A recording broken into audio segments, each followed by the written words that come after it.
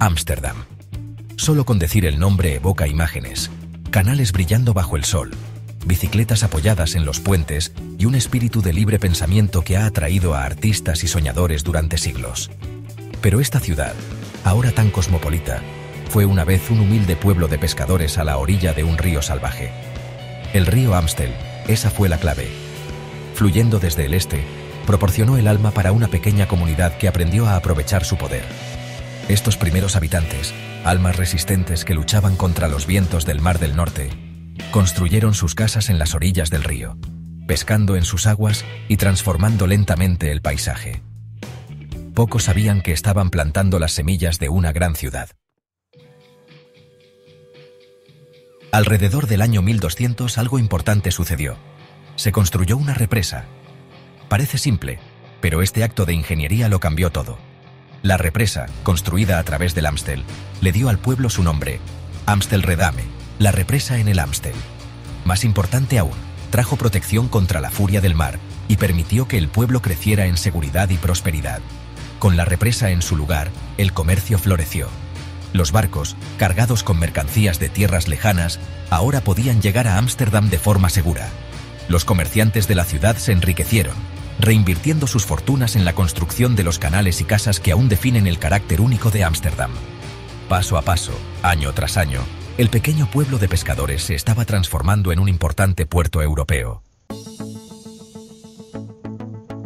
El siglo XVII fue la edad de oro de Ámsterdam.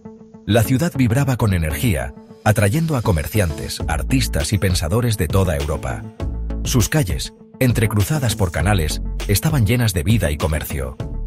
Barcos, con sus bodegas repletas de especias, sedas y tesoros del lejano oriente, llenaban el puerto.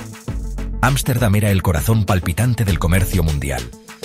Este periodo de prosperidad sin precedentes fue impulsado por la Compañía Holandesa de las Indias Orientales, conocida por sus siglas en holandés, BOC. Fundada en 1602, la BOC no era solo una compañía, era una fuerza de la naturaleza, un imperio comercial que se extendía desde el Cabo de Buena Esperanza hasta Japón. El éxito de la BOC fue el éxito de Ámsterdam, y las calles de la ciudad estaban pavimentadas con las ganancias de sus empresas globales. La Boque nació de la necesidad y la ambición. Los holandeses, maestros de la construcción naval y la navegación, estaban ansiosos por desafiar el dominio portugués del comercio de especias. Las especias, esos sabores exóticos de las Indias orientales, valían su peso en oro en Europa.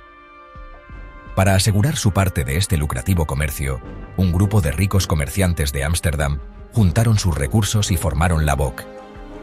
Esta no era una compañía ordinaria. A la BOC se le otorgó el monopolio del comercio holandés con Asia, dándole un poder sin precedentes. Podía librar guerras, establecer colonias e incluso acuñar sus propias monedas. Esta extraordinaria empresa, respaldada por toda la fuerza del Estado holandés, zarpó para conquistar los océanos y mercados del mundo.